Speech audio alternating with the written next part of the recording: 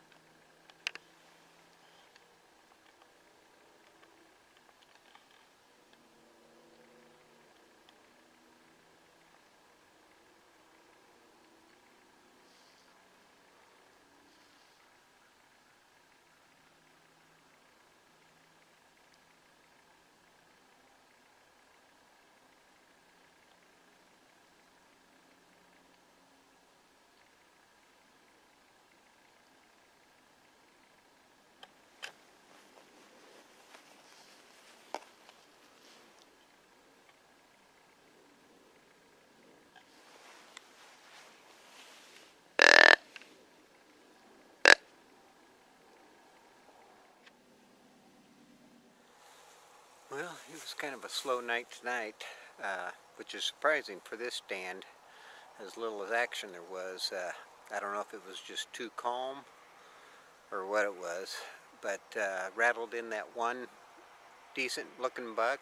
Um, yeah, if he would have came close enough, I probably would have took a shot at him. But uh, with it being so calm, I think he came out there and he couldn't hear another deer or see another deer, so he knew something was up and headed back the direction he came from, but tomorrow will be another day. I'm going to be back in the stand tomorrow morning, and we'll see how we do then.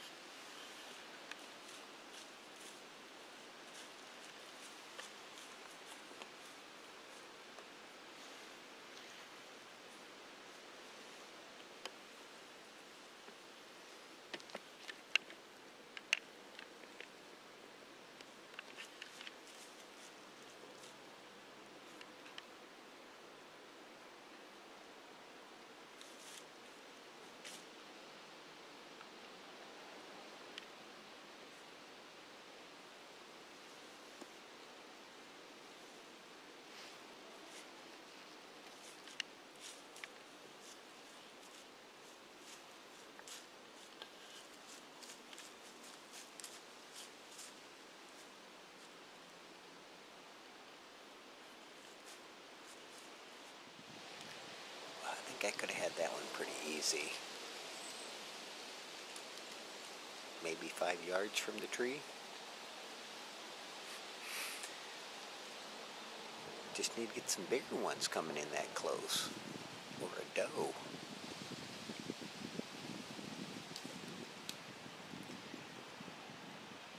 Plenty of action so far this morning.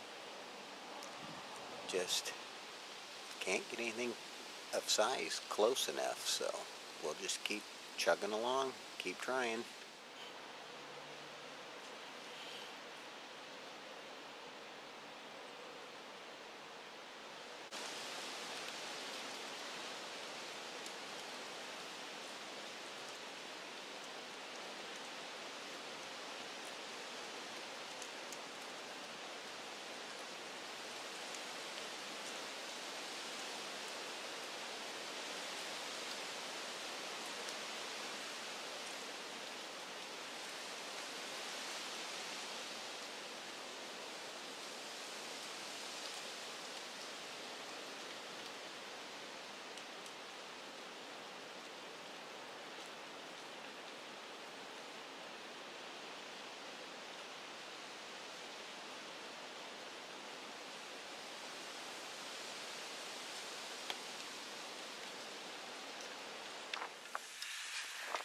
Well, that was a pretty active morning. Not very productive as far as no kill or no shot, but yeah, pretty active morning. Had, uh, well, I'm not sure how many bucks I saw. I think a couple of them were uh, duplicates.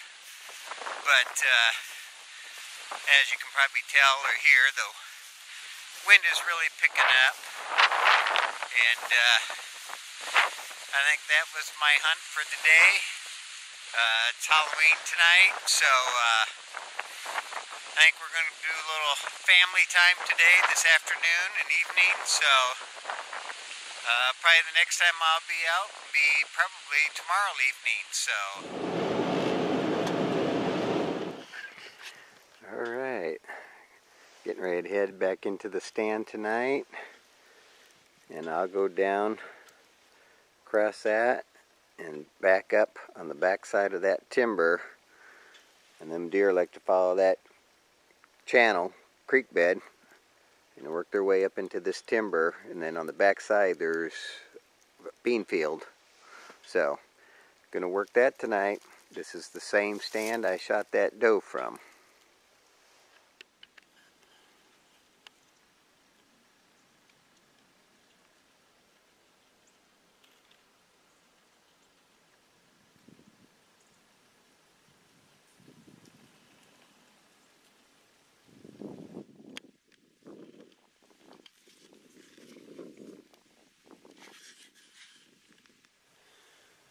it's 3 o'clock and tonight I'm hoping just like the other morning I get a doe or a buck to come right down this bean field and into that same spot that I shot the other day.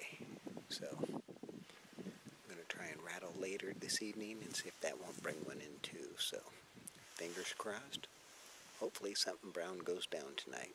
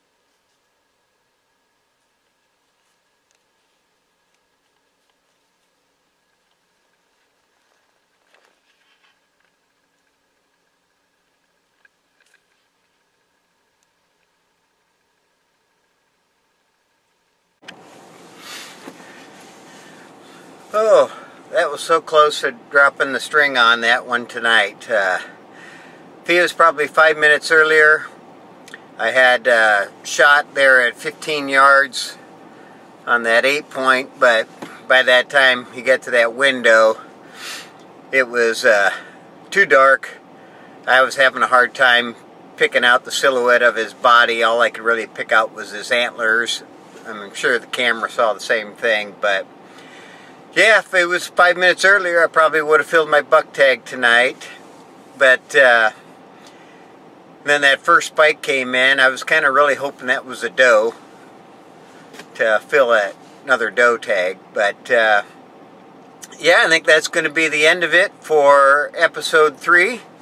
Uh, stay tuned. I really feel like the beginning of the next episode, there's probably going to be a deer hitting the ground. Uh, it's getting better and better every day. Uh, the rut's going to be kicking up. So I think it might be a blessing I didn't shoot that eight point tonight because I think uh, I think by next week and I may have a crack at something a little bit bigger. So please stay tuned, follow along, give me a thumbs up if you like it, leave me a comment, let me know what you think, and if you haven't already subscribed, please subscribe.